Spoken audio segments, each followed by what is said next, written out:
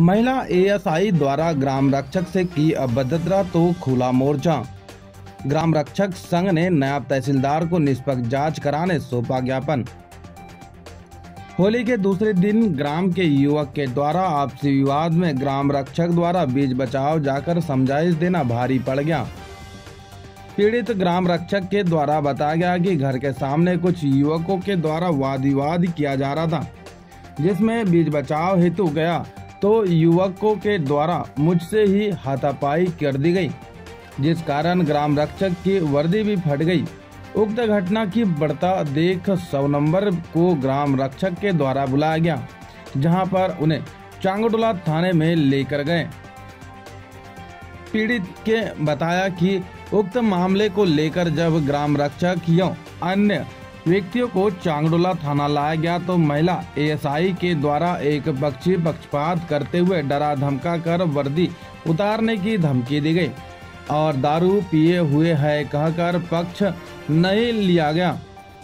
उक्त घटना के संबंध में 24 मार्च दिन गुरुवार को उप तहसील लामता में समस्त कोटवार संघ द्वारा, महिला उप निरीक्षक द्वारा ग्राम रक्षक के साथ अभद्र व्यवहार करने एवं कोटवार की वर्दी उतारने की धमकी देने के संबंध में उचित एवं निष्पक्ष जाँच करने हेतु नायब तहसीलदार संदीप नागोसे को ज्ञापन सौंप कर निष्पक्ष जाँच की मांग की गई है।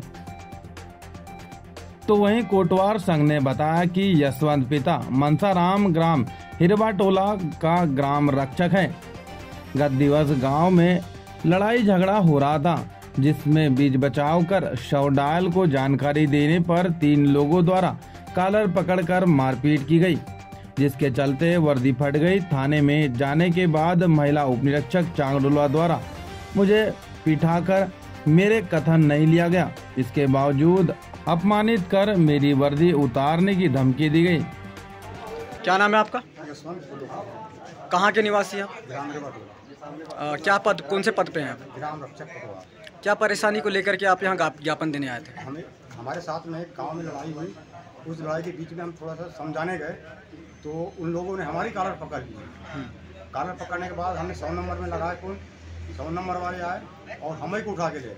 अच्छा। उठा के ले जाने के बाद में हमको अंदर वाले हाल में बैठा दिए और दूसरी पार्टी की बारी बारी विरोध मतलब रिपोर्ट लिखी बयान ली। और हमने बयान के लिए बोले तो हमको सीधी मैडम ने बोले सरकार से दो ज़मीन मिली दो हज़ार चार हज़ार पैसा मिल रहा है खा रहे और कर रहा ज़्यादा करोगे तो तुम्हारी वर्दी उतार किसके द्वारा बोला गया ऐसा? ये मैडम के द्वारा। मैडम कौन से पद में है वहाँ पे? Madam S I single star वाली है। अच्छा ए एस आई है। तो और क्या कहा गया उनके द्वारा? इसने कहा गया और बोलती है यहाँ राजीनामा में दस्तखत कर मैं तोड़ दी अभी उतरी जाएगी। अच्छा उसके इसलिए मैंने फिर आज आप यहाँ पे नायब तहसीलदार साहब के पास आए थे क्या बोला गया इनके द्वारा? उनको हमने वही बोला गया जो हम- हाँ। उनके द्वारा क्या बोला गया सर के द्वारा? मेरे को? हम्म, मेरे को सर के द्वारा वही बोला गया कि तुम बीच में ना जाना और पहले सौ नंबर को लगाना बस। क्या आश्वासन दिया गया क्या कार्रवाई होगी इसमें?